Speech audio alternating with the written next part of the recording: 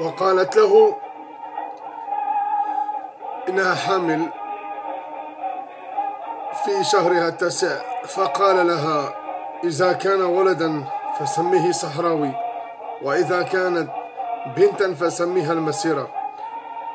وكتب الله أن كان ولدا فسمته الصحراوي.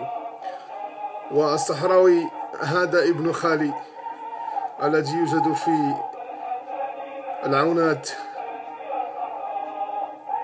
أولاد علي بسيدي بن نور بدكالة فهو عمره وتاريخ المسيرة حيث خرجت إسبانيا خاسرة وربح المغاربة الرهان. ودائما الصحراء في قلوبنا.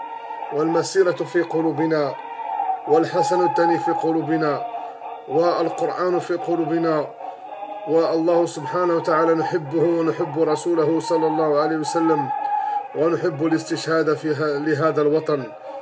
والدفاع عن الوطن. وإن شاء الله سوف نخرج الإسبانيا من سبت ميليليا يوما من الأيام. فهنيئا لكل المغاربة والسلام عليكم.